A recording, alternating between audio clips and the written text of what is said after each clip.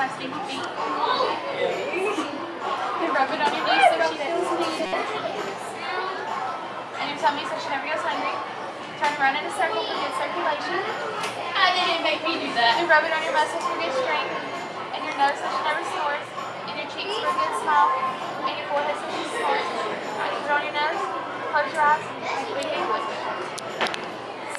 Alright, give it a kiss.